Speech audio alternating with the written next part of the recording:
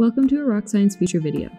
In this tutorial, we will demonstrate how to introduce profiles and boreholes into a model with a simple surface excavation, consisting of a trench, located near a circular tunnel, and a distributed load directly above the tunnel. A staged analysis is performed by first excavating the tunnel, then the trench, and finally adding the load. Two boreholes are present, one located on either side of the trench. The borehole profiles have three layers, with three different materials. This tutorial will guide you through project settings, defining boreholes, entering geometry, assigning materials, adding a distributed load, meshing the model, defining boundary conditions, computing the model, and analyzing results using Interpret. Let's get started. Select File, Recent Folders, Tutorial folder. Select the Profiles and Boreholes initial file.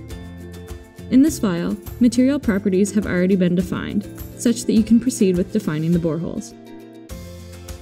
Select Analysis Project Settings. In the Project Settings dialog, select the Stages tab. Enter Number of stages equals 4. Name your stages accordingly. To enable the use of soil profiles, select the Soil Profile tab. Check the box entitled Use Soil Profile. Click OK to close the dialog. Let's begin by defining the profile extents, located in the Profile Options pane on the left side of the modeling interface. Enter the following parameters.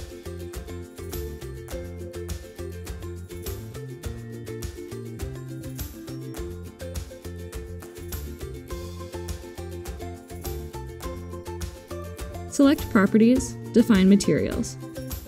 Note that the initial file already has the material properties defined. These materials will be used when constructing the boreholes. Select Profile, Borehole Editor. In the Edit Boreholes dialog, select the green plus symbol to add a borehole. Enter the following parameters for borehole number 1.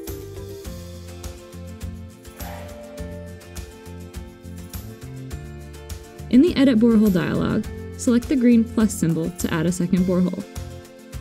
Enter the following parameters for borehole number 2.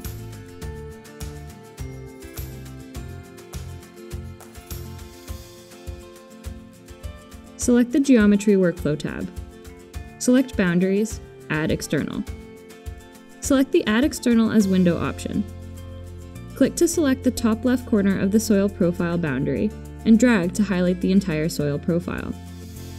Finish the selection by clicking the bottom right corner of the profile.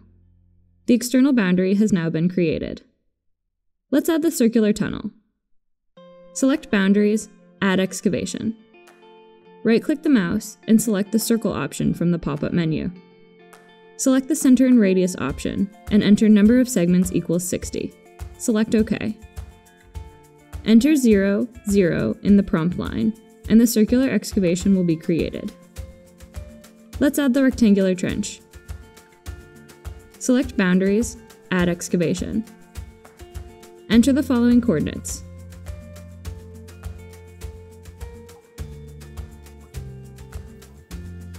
Press C to close the boundary. Both excavations have now been created. Select the Materials and Staging Workflow tab. Select Properties, Assign Properties. The tunnel will be excavated in Stage 2, and the trench in Stage 3. Make sure the Stage 2 tab is selected. Select the Excavate button in the Assign dialog. Left-click inside the circular tunnel, ensuring to select both selections of material. The contents of the tunnel will now appear white, indicating that the tunnel has been excavated. Select the Stage 3 tab. Left-click the mouse inside the rectangular trench, ensuring to select all three sections of material. The elements in the trench will disappear, indicating that it is excavated. Let's verify the assignments by selecting each stage tab in turn and inspecting the model. Select Stage 1. There should be no excavations present. Select Stage 2. Only the tunnel should be excavated. Select Stage 3. Both the trench and the tunnel should now be excavated. Select the Loading Workflow tab. Let's add a uniform distributed load to the ground surface segment above the tunnel. Select Loading, Distributed Load, Add Uniform Load. In the Add Distributed Load dialog, enter a magnitude of 20. Select the Stage Load checkbox and select the Stage Factors button. In the Stage Factors dialog, enter factor equals 0 for stages 1, 2, and 3, and factor equals 1 for stage 4. Select OK in both dialogs. Let's place the load on the external boundary above the circular tunnel excavation. In the prompt window, enter the following coordinates. Press enter to add the load. For most problems involving a ground surface, it is recommended to use a gravity stress field. Select Loading, Field Stress. Select the option for Use Actual Ground Surface and select OK.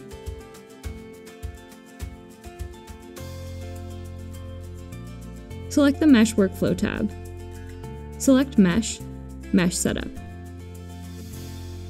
Enter the following mesh parameters.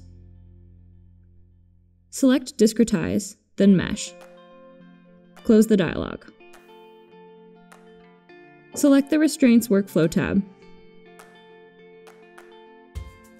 Since this is a surface excavation model, we must specify that the ground surface is a free surface. This is done using the Free option in the toolbar or the Displacements menu. Select Displacements Free. Use the mouse to select the segments representing the ground surface. This can be done by selecting each segment individually or by drawing a selection window, as shown. Press Enter. The triangular pin symbols should now be gone from the ground surface, indicating that it is free to move without restraint. Let's now specify the left and right edges of the external boundary as fixed in the x direction only, and the lower edge as fixed in the y direction only. Select Displacements, Restrain X. Use the mouse to select the left and right edges of the external boundary. Press Enter. Select Displacements, Restrain Y. Use the mouse to select the bottom edge of the external boundary. Press Enter. Select Displacements, Restrain XY. Right-click the mouse and select Pick by Boundary Nodes from the pop-up menu.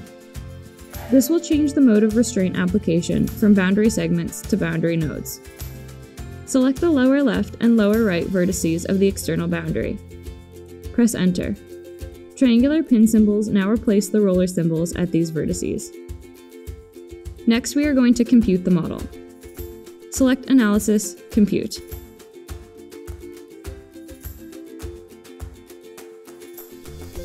Let's view the results and interpret. Select Analysis, Interpret. To view the effect of the load on total displacement, the reference stage must be set to Stage 3, the stage before the addition of the load. First, select Data, Stage Settings. Set the reference stage to 3, Excavate Trench. Press OK. Select Total Displacement from the drop-down menu. It is apparent that the load has caused significant displacement, particularly in the top two soil layers. Set the reference stage back to not used.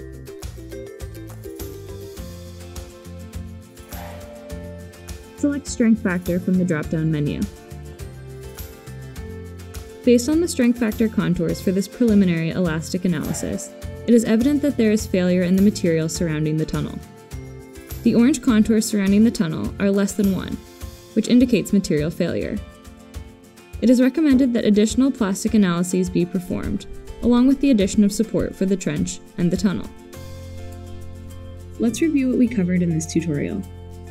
We constructed the model by adding boreholes to create a soil profile. Additionally, we added a tunnel, trench, and surface load. We meshed the model and set the appropriate boundary conditions. Finally, we analyzed the results, including total displacement and strength factor, using the Interpret program. This concludes the Profiles and Boreholes tutorial.